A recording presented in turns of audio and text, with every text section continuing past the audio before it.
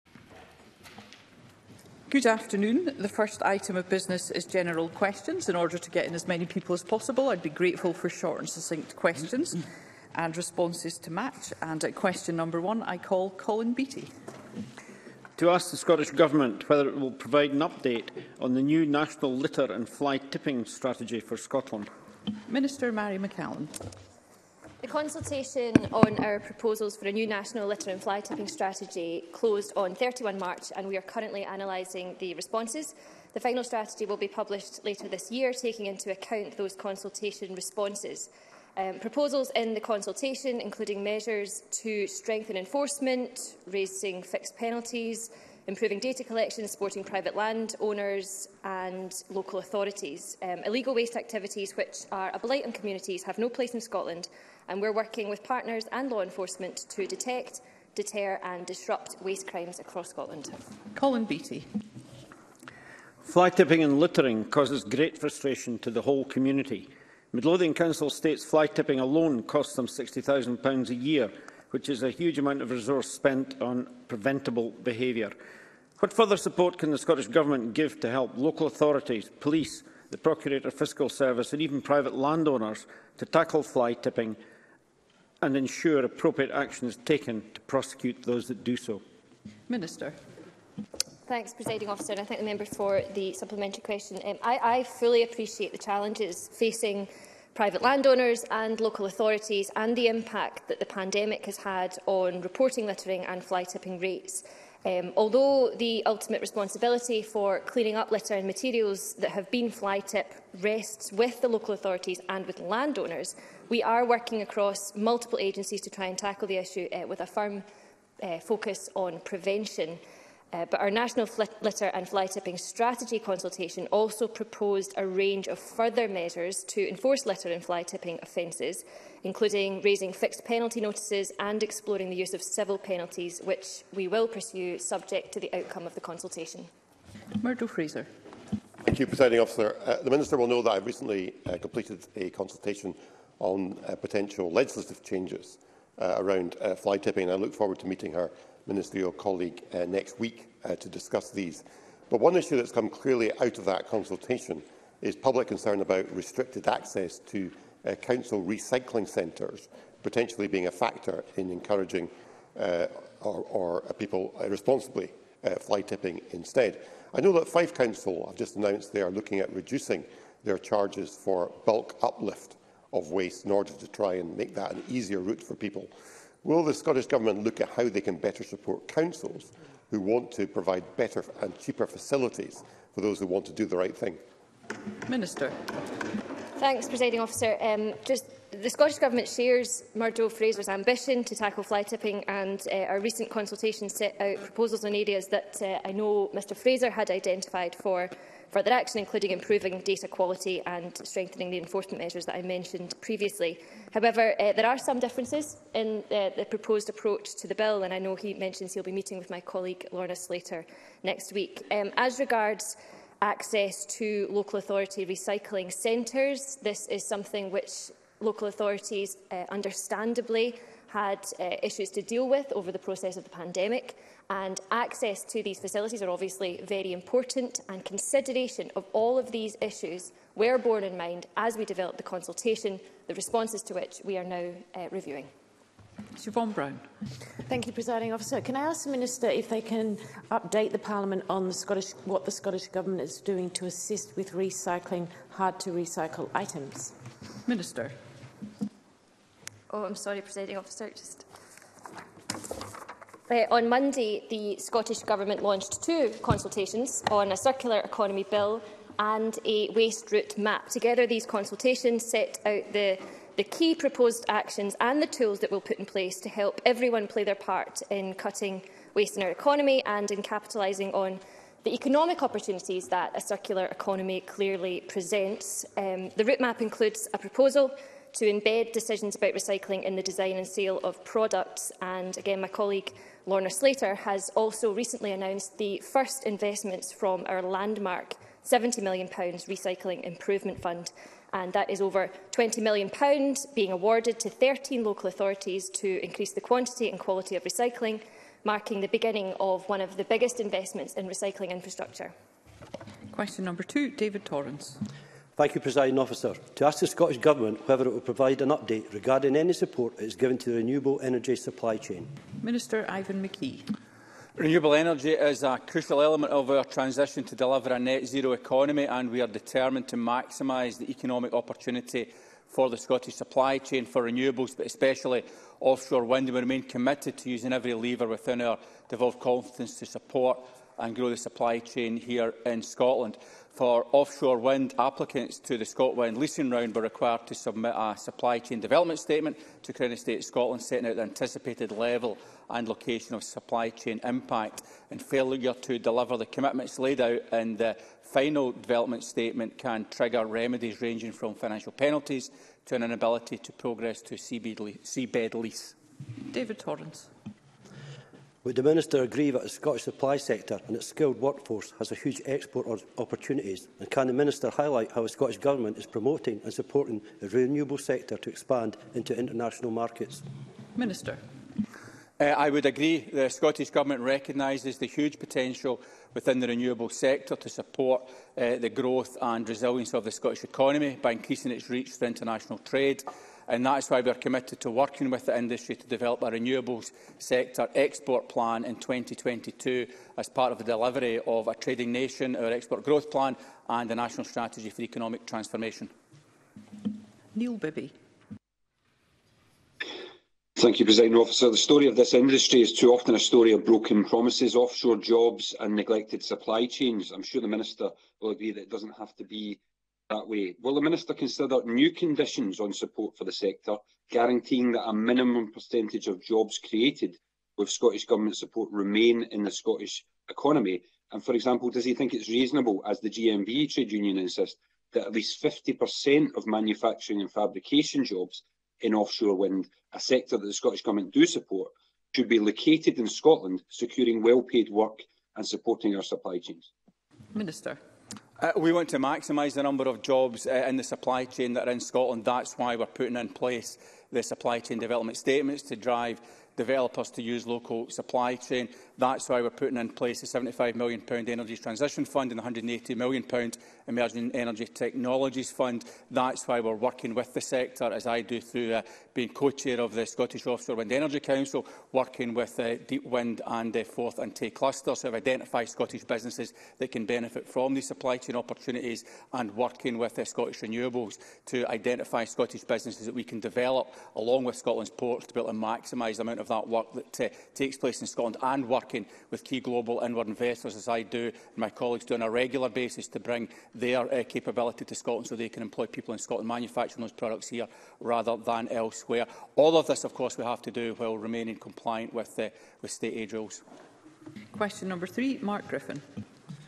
Thank you, President Officer. To ask the Scottish Government how many people in central Scotland have been helped onto the property ladder through government schemes since 2016-17? Cabinet Secretary Fiona Robertson. The shared equity schemes are one of a number of ways we are uh, supporting individuals to access affordable housing, as set out in our Housing to 2040 strategy.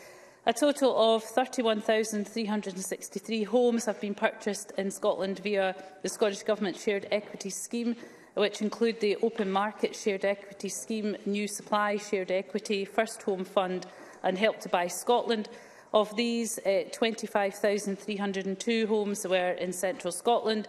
This figure represents completed purchases in the past five financial years and covers the number of homes rather than individual people. Mark Griffin. I thank the Cabinet Secretary for that answer. The, the numbers being supported through the lift scheme, now the only one available, have tumbled in recent years, though, from 126 across the Central Scotland Councils in 2017-18 to just 12 in 2021. And I think the Cabinet Secretary has agreed to meet with Cal Grievers, who can't find um, a home that meets the lift requirements and is now crowdfunding for a deposit. Now, will the Cabinet Secretary agree to use this summer to look at enhancing lift, to revisit the decisions um, from last summer to close the Help to Buy and First Home Fund scheme schemes? I think the advice that was based on was because Lift made up 20% of the affordable housing numbers, but now that figure has tumbled to just 14% in 2021. Cabinet Secretary. Uh, so let me first of all say um, to Mark Griffin that of course I, I do want to meet Callum Grievers and I recognise two particular aspects about his case. First of all, uh, uh are about his particular needs, but secondly, some of the difficulties within the Edinburgh housing market. Um, but looking beyond that in a more general sense across Scotland, um, first-time buyer activity has, has shown a strong recovery um, and mortgage approvals for first-time buyers uh, in Scotland increased by 13% for the 12-month period in, uh, to quarter 1 uh, 2022 compared to quarter 1 2021.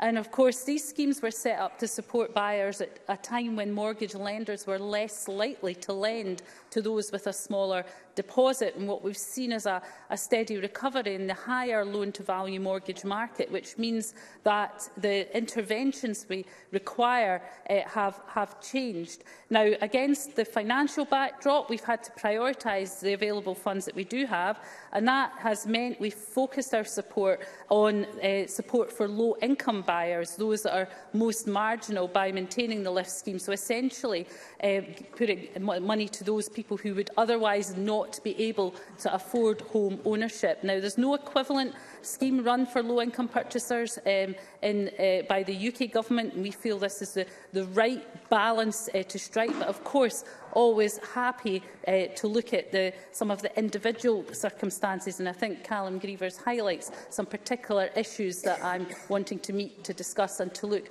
how we might help to uh, take some of those issues forward. Question number four, Marie McNair thank you, President Officer, to ask the Scottish Government what it's doing to protect communities from excessive aircraft noise. Minister Mary McCallum. Presiding officer, we recognise the impact aircraft noise can have on communities, particularly those around runways.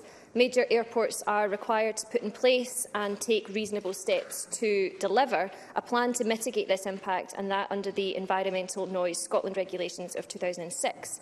Um, they must update this plan every five years in consultation with communities, And as we enter the, the busy summer period, we encourage airports to engage effectively with local communities to consider how best to mitigate noise impact. However, it's always worth reminding ourselves that uh, our connectivity is increasingly being provided by latest generation aircraft which are quieter and cleaner.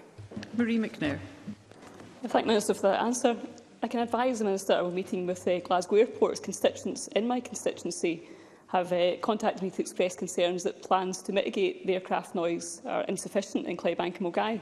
I support them when they express these concerns. Can the Minister outline the importance the Scottish Government places on the need for local communities to be at the heart of mitigation plans? Minister. Thanks, uh, Presiding Officer. And yes, I'm absolutely happy to um, engaging with local communities on noise mitigation measures is very important and I'd encourage airports to continue to do this as they deliver and update their noise action plans. Um, I'm pleased to learn that Glasgow Airport will be setting up a noise action forum which will include representatives from the community and I'm also pleased to hear that they will shortly be meeting with the member. Alex Cole-Hamilton.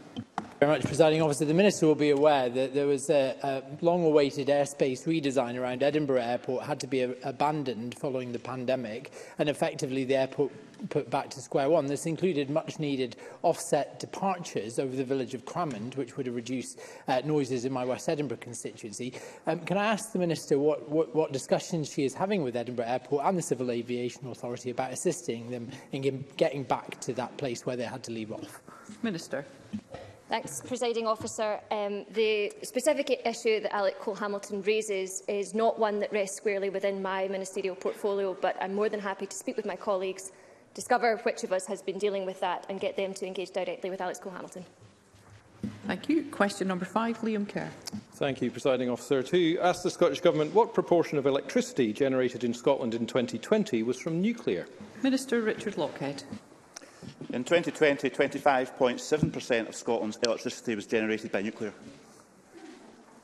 Liam Kerr thank the Minister for the answer. According to the Climate Change Committee's Net Zero, the UK's contribution to stopping global warming report, to hit net zero, the UK will need four times more clean power by 2050. They further say that 38% of that needs to be firm power. That means consistently generated and reliable, regardless of weather conditions or battery life. So, Minister, from what source will Scotland get that 38% of firm electricity generation, please? Minister. Can, can I say to the member that uh, actually so far this year only 19% of electricity has been sourced from nuclear and just last week wind power contributed a record amount of electricity to Britain's needs, meeting half, if uh, half of the, the, uh, these islands' electricity needs uh, one day alone uh, last week. Uh, the view of this government is that nu nuclear is not the answer to Scotland's energy security or energy needs. It's uh, far too expensive. It will take years and there remains safety and environmental concerns. And Scotland's future is based on their abundance of natural resources and renewable electricity and renewable energy. The amount of renewable electricity generated in Scotland in 2021 was the equivalent of powering all households in Scotland for almost three years, and that is Scotland's future. Kenneth Gibson. Point, point of order, Liam Kerr. Forgive me, President Officer, but I asked a straight question about where the 38% of firm electricity is going to come from. The Minister didn't even attempt to answer that question, which is just not a good reflection on the Minister or this Parliament. I wonder if he might be given another opportunity. The, the, the, Minister has been given an opportunity to answer that question. The content of contributions is not a matter for me, but of course um, under the Code of Conduct, um, which insists on courtesy and respect uh, amongst members for one another, it is obviously clear that we expect answers to be as responsive as possible. And I call Kenneth Gibson. Thank you, Presiding Officer. Hunterson Bay in my constituency ceased electricity generation in January, so asking about 2020 output is surely irrelevant. Does the Minister agree that with Austria's Energy Minister raising the spectre of, and I quote, severe accidents with high releases, close quotes, that Sizewell C to be built in Suffolk due to the reactor design, we should not be considering new nuclear fission generation in Scotland. Minister. Well, the member is quite right to highlight some of the serious concerns that are expressed about the safety and indeed environmental implication of nuclear technologies. And that's why the Scottish Government doesn't support the building of any new nuclear power stations in Scotland and it will not feature as part of our wider energy strategy review that will take place later this year. And we'll continue to assess any new technologies based on safety, value for customers and their contribution to Scotland's low-carbon economy and energy future. Question number six, Daniel Johnson. Uh, to ask the Scottish Government whether it will provide an update on its deposit return scheme. Minister Mary McCallum.